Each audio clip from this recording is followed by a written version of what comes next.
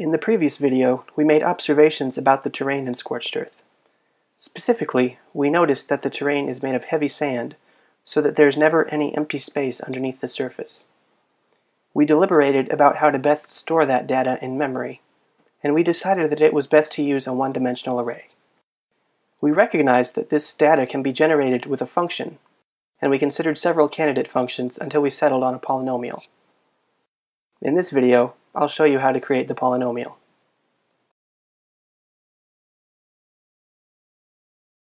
This is the basic process. You have a set of points, and you use the set of points to create an augmented matrix. You transform the augmented matrix into reduced row echelon form, which isolates the coefficients of the polynomial. You can then draw the polynomial on the screen, and you'll notice that it passes through all of those points. The polynomial curve is the battlefield. This involves a kind of wishful thinking. You see, you have a set of data, and you want to find an explanation for that data besides the explanation which you know is true. You know that these points were either put here deliberately by you or another person, or they were put there randomly by a computer algorithm. But you choose to believe instead that they were put there because they lie on a polynomial. And because you believe that, you want to find that polynomial.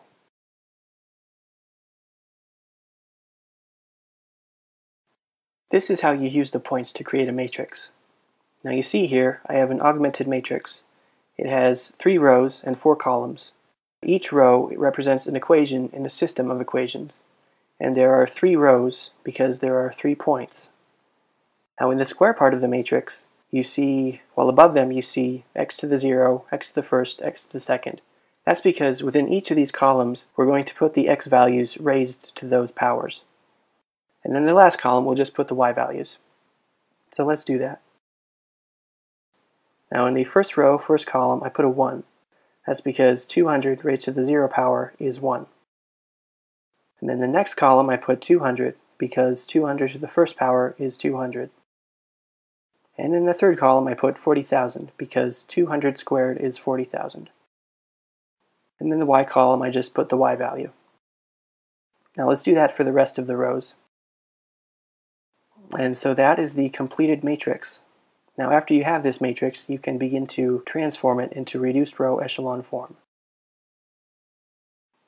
There's some things I'd like to point out before we go ahead and solve the matrix.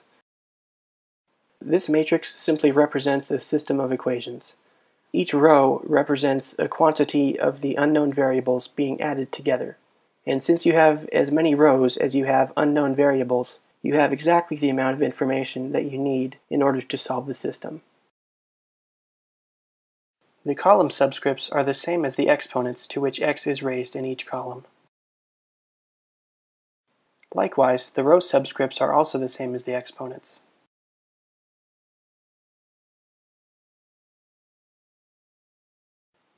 Let's transform our augmented matrix into reduced row echelon form. The way that I do it is probably different from the way that you were taught to do it in school. Uh, in school, you were taught that you could analyze the matrix at every step, and when you would multiply a row, you would have a choice of which row to multiply. Uh, my algorithm does not make any choices at all. It's very automatic, very mechanical. Basically, there are two different types of numbers here. There's the ones you want and the ones you don't want. The ones you want are the diagonal numbers in blue, and you want to change all of those into ones. The numbers you don't want are in red, and you want to change those into zeros. Now once you have diagonal ones and all the other numbers are zeros, you will have isolated all of the unknown variables, and you will know the coefficients of the polynomial. The way that you change diagonal numbers into 1 is by multiplying their entire row by the reciprocal of the diagonal number. The way that you change the non-diagonal numbers into zeros is by multiplying another row by the negative of the number which you are trying to get rid of, and then adding that multiplied row to the row of the number which you are trying to get rid of. My method basically consists of two stages. Now you start at the upper left cell, and in the first stage you move downward and to the right. Now as you move downward and to the right, you eliminate all the unwanted numbers and when you hit the wanted diagonal numbers, you turn those into ones. And after you hit the diagonal numbers, you move down to the next row. Now once you've gone all the way down to the bottom row, and you've gone all the way to the right, to the last diagonal number, that is the end of the first stage. The second stage moves upward and to the left, and as it moves upward and to the left, it eliminates all of the unwanted numbers. It's finally time to transform the matrix. You're probably getting tired of hearing my voice, and uh, to be frank, I'm tired of talking, so I'm just going to be quiet for a little while and let you watch this in peace.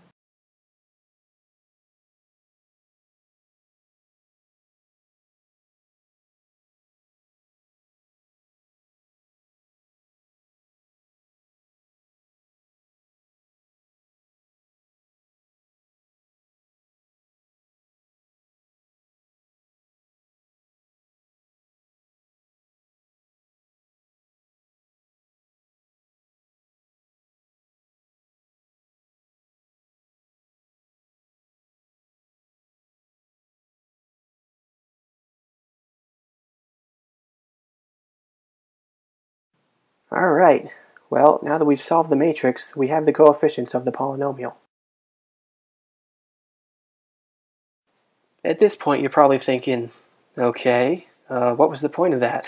That's just what they taught me to do in school, except a little bit different. Well, I'll tell you. The reason why I did it the way I did is because it's very easy to program. When you use the diagonal numbers to remove the non-diagonal numbers, you can do it in a very systematic and mechanical kind of a way. You'll notice that in order to remove the numbers in column 0, I use the diagonal number which is in column 0. So element 0, row 0, removes all other numbers in column 0. Likewise, element 1 in row 1 removes all the other numbers in column 1.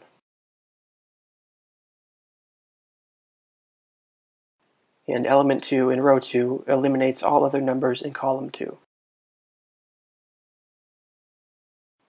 I think this will make more sense when you see the code. I know I keep saying that, but just trust me. It'll get better. I can pretty much guarantee that this will always work with any set of points, just as long as you follow two rules. Rule number one, uh, don't allow points to be vertically aligned. In other words, make sure that none of the points have the same x value what happens is when two points have the same x and you feed them into the matrix and you solve the matrix, there will be a divide by zero exception. And I'll leave you to figure out why that is. And rule number two, don't use too many points. The problem is that uh, when you're working with computers, all of your data types have limits. Usually they're large enough that they'll do whatever you want them to, but in this application you're going to find the limits uh, pretty quickly. When you lay down too many points, you're going to find out that uh, well, the curve doesn't quite pass through the points. It comes close, but it misses them. And then when you add another point after that, you'll notice that it misses all the points completely. So uh, be careful about your data types.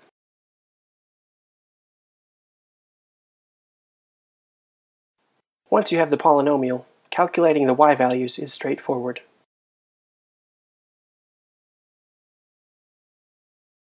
Alright, we're finally at the end of the second video. Man, this is exhausting. I don't know about you, but I'm going to go take a nap. Uh, please stay tuned for the next video. Next time I'll show you the code.